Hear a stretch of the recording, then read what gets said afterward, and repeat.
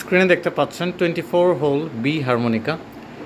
এটি বর্তমানে আমাদের শোরুমে অ্যাভেলেবেল আছে। তিনটি কালার ভেরিয়েন্ট রয়েছে red black and blue price তিনশো নিরানব্বই টাকা ডেলিভারি চার্জ আলাদা। সারা বাংলাদেশ ব্যাপী হোম ডেলিভারি করার ব্যবস্থা রয়েছে। ধন্যবাদ।